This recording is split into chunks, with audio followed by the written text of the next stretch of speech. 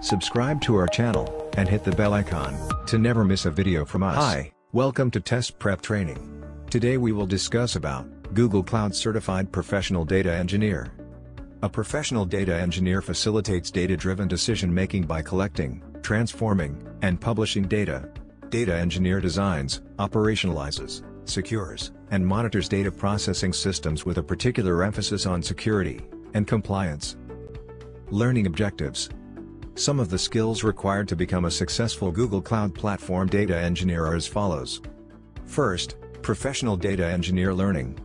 Second, proficiency in Python and SQL languages. Third, understanding of cloud platforms.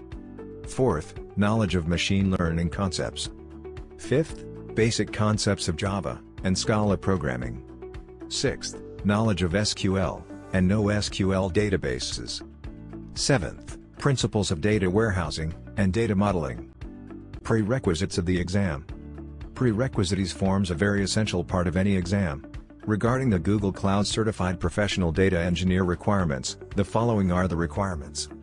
First, candidate should possess scalability and efficiency. Second, candidate should be able to design and monitor data processing systems with a particular emphasis on security. Third, above all, a data engineer should be able to leverage and continuously train pre-existing machine learning models. Now we will talk about exam details. Google Data Engineer Certification Exam comprises of 15 questions which are multiple select and multiple choice. You will be given 2 hours to complete the test and score 70% to get through the exam. Further, the exam is valid for 2 years and is available in two languages, English and Japanese. Above all, the exam costs 200 US dollars. Course outline, Google Cloud Professional Data Engineer. Take a glance at the topics that needed to be covered for the exam, and you need to pay focus on. First, designing data processing systems. Second, building and operationalizing data processing systems. Third, operationalizing machine learning models. Fourth, ensuring solution quality. Let us now discuss about course outline topics in detail. Module 1, Designing Data Processing Systems. Number 1, Selecting the appropriate storage technologies. It contains five subtopics which are First, mapping storage systems to business requirements. Second, data modeling. Third, trade-offs involving latency, throughput, transactions. Fourth, distributed systems. Fifth, schema design. Number 2, Designing Data Pipelines.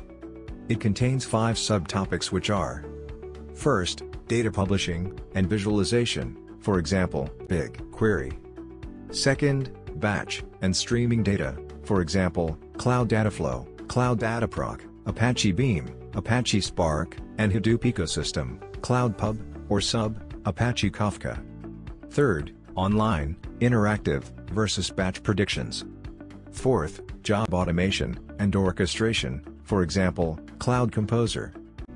Number 3, Designing a Data Processing Solution. It contains seven subtopics which are First, choice of infrastructure. Second, system availability and fault tolerance. Third, use of distributed systems. Fourth, capacity planning. Fifth, hybrid cloud and edge computing. Sixth, architecture options, for example, message brokers, message queues, middleware, service-oriented architecture, serverless functions. Seventh, at least once, in order, and exactly once, etc., event processing. Number 4, migrating data warehousing, and data processing.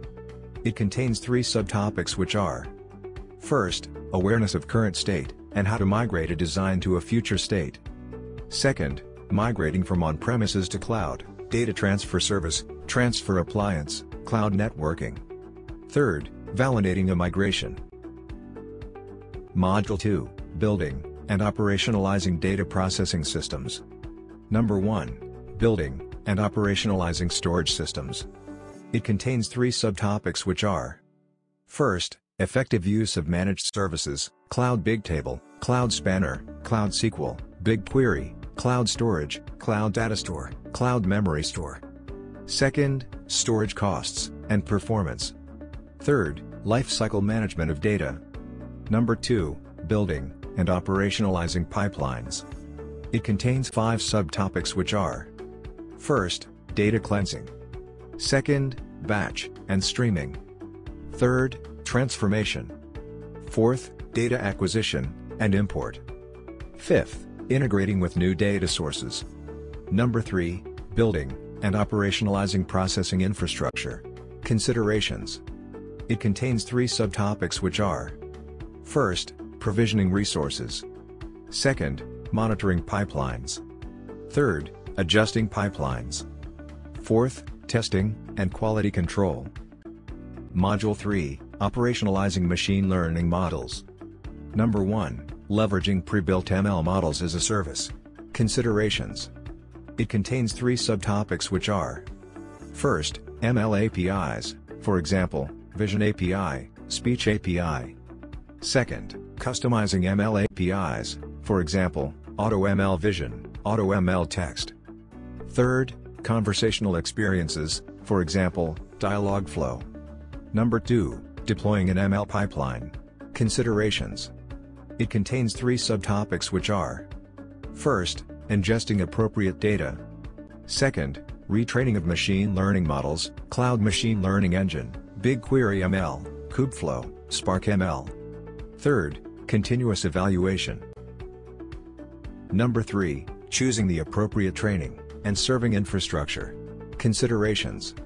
It contains three subtopics which are First, distributed versus single machine.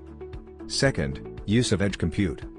Third, hardware accelerators, for example, GPU, TPU. Number 4, measuring, monitoring, and troubleshooting machine learning models. Considerations.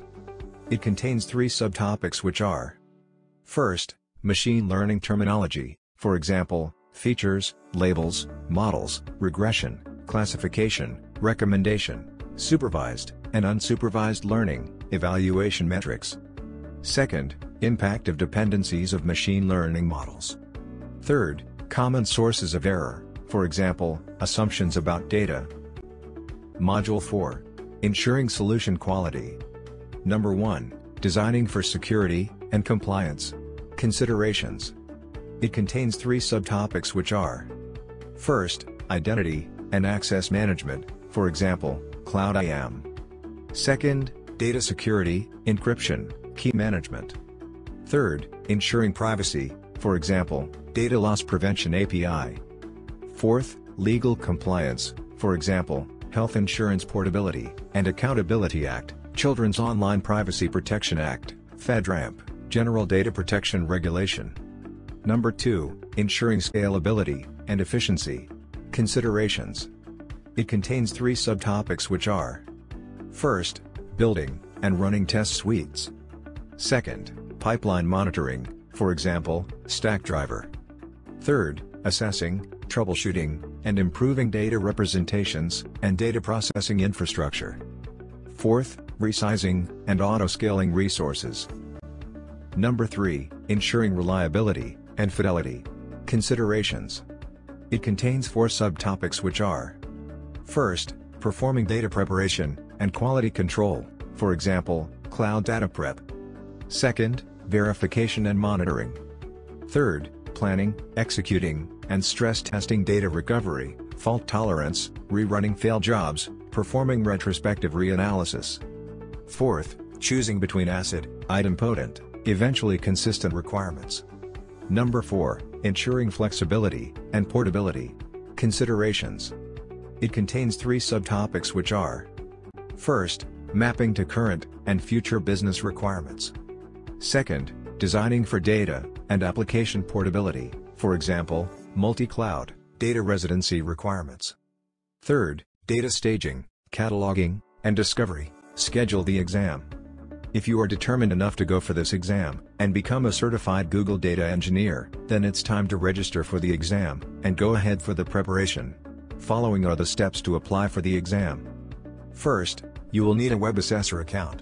You are supposed to create a one in order to register yourself for the exam. To create, click here. Second, create the account with your personal email address, and not your work address. Third, check the catalog, and register for the exam you want to apply for. Fourth, choose the exam center, that is, Kryterion Testing Center. Fifth, when you register for an exam, you will need to schedule an exam time at a Kryterion Testing Center that is convenient for you. Now we will talk about, retake the exam. For instance, if you don't pass the certification exam, you can take it again after 14 days. Similarly, if you don't pass the second time, you must wait 60 days. Further, if you don't pass the third attempt, you'll have to wait a year before trying again. Above all, payment is required each time you take an exam. Note, trying to sidestep the retake policy by registering under a different name is a violation of the exam terms and conditions and will result in a denied or revoked certification. Exam Day After crossing all the hurdles, comes your exam day. All your hard work is going to take shape. In other words, you are going to get your output in your hand. In order to receive one, you should remember the following points. First, you should arrive before the arrival time at the exam center with valid identity proof, a voter ID card which differs depending upon the location and country. Second, you can just contact the customer care of the testing center to take information about the perquisites of the exam, or check the official certification page. Third, you will be given a locker where you can keep your belongings at the test center. Let us now talk about preparation resources to become a Google Cloud Certified Professional Data Engineer. First, review the exam guide. The exam guide has a complete list of topics and domains that are included in the exam. So, review the exam guide to determine if your skills align with the topics on the exam. This will allow you to have a better understanding of the Google Cloud Certified Professional Data Engineer exam. Second, get started with training program. When it comes to certification exams, there's nothing better than the training programs. These offer the candidates with such deep knowledge and insights of the Google Cloud Platform. Third, Data Engineering on Google Cloud Platform. This four-day instructor-led class provides participants with a hands-on introduction to designing and building data pipelines on Google Cloud Platform. With a combination of presentations, demos, and hands-on labs, candidates learn the process of designing a data system. Not to mention, they also learn and build end-to-end data pipelines, analyze data and derive insights. This particular course entails everything structured, unstructured, and streaming data. Fourth, don't underestimate the power of hands-on practice. Since this particular exam tests technical skills related to the job profiles. Hence, hands-on experience is the best preparation for the exam. If after training program, candidates feel like having more experience, or practice, we strongly suggest using the hands-on labs available on Qwiklabs. Also, they are available on the GCP free tier to grade up candidates' knowledge and skills. Fifth, Google Cloud free tier. The Google Cloud free tier provides the candidate with free resources to study Google Cloud services. This becomes all the more enriching for a candidate if they are completely new to the platform and need to learn the basics. On the other hand, if suppose you're an established customer and want to experiment with new solutions, the Google Cloud free tier has got you covered. Sixth, Google Cloud Essentials. In this introductory level quest, the candidate will get hands-on practice with Google Cloud's fundamental tools and services. Google Cloud Essentials is the recommended first quest for the Google Cloud learner. As this provides the candidate with practical experience that they can apply to their first Google Cloud project. From writing Cloud Shell commands and marshalling their first virtual machine, to running applications on Kubernetes engine, or with load balancing. 7th, Data Engineering. This advanced level quest is unparalleled amongst the other Qwiklabs offerings. The labs are curated to provide the IT professionals hands-on practice with topics and services that appear in the Google Cloud Certified Professional Data Engineer certification.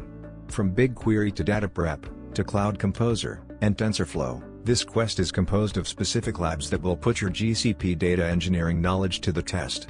Not to mention, this will increase candidates' skills and abilities, so they won't require other preparation as the exam is quite challenging. Therefore, external studying, practice, or background in cloud data engineering is urged. 8th, additional resources for the professional data engineer in you. When it comes to certification exams like Google Cloud Certified Professional Data Engineer, the more the learning resources, the better will be the outcome. In the same vein, if candidate requires more in-depth knowledge, and wants to critically acknowledge their components of Google Cloud Platform, Ninth, self-evaluation makes you better. And, finally, it's time for self-evaluation. Take it from us, self-evaluation is the last step of your success. The more you're going to practice, it's better for you. Not only does it assist you in understanding the areas where you lack but also ensures you're improving your skills as well. So, keep on practicing as many practice tests as much you can. For more such videos, subscribe to our channel.